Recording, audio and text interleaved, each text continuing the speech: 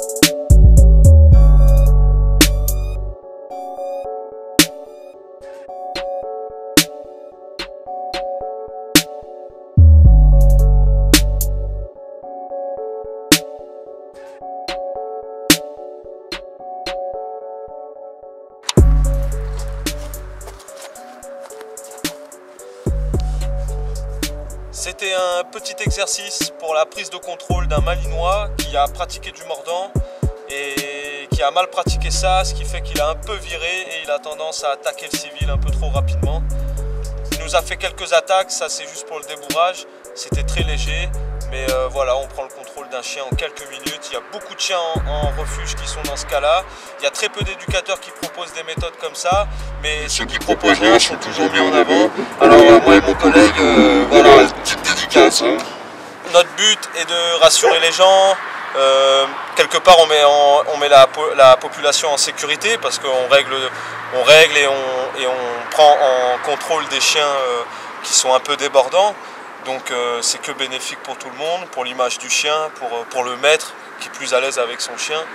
Euh, voilà, donc en quelques minutes, on prend le contrôle, après on rééduque, on transmet au maître, c'est tout un savoir-faire.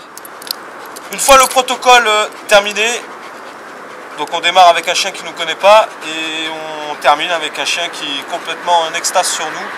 C'est une sensation indescriptible, c'est très plaisant mais c'est ce qui réconforte dans le fait qu'un chien ça se dresse, il y a une technique.